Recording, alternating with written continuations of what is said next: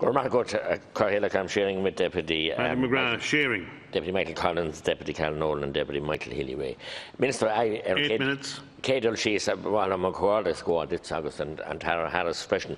I would like to compliment and say how delighted I am to see Minister Foley in her new role and to see Minister Harris in a new role uh, out of where he was. I know he left the Children's Hospital in a black hole, so I wish him and hope we'll have a better relationship in this department.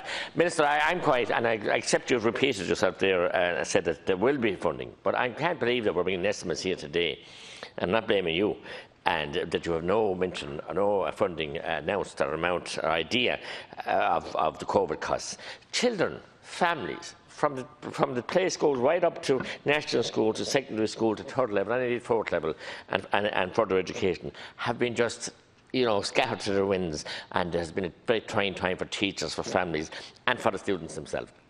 And it's very, very concerning, Minister. And we need to have surety.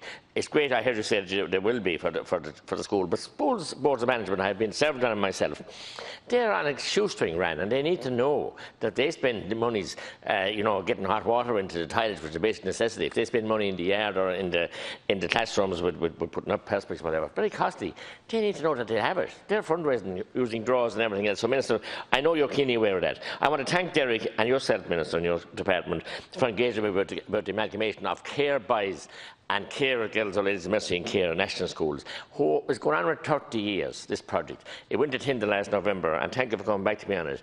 And all the people of Cahir want I want to thank the Sisters of Mercy and Bishop Phonsie Cullinan for the patron for giving the site there. And I want to compliment all involved past boards of management and present and parents council and everybody. We want to see the machines moving in there. We want to see the start turn for this new build. Because we are obviously afraid that a builder has been appointed. We're afraid that with covid and everything else it might fall off the cliff again. Uh, Go raibh maith agat. Well,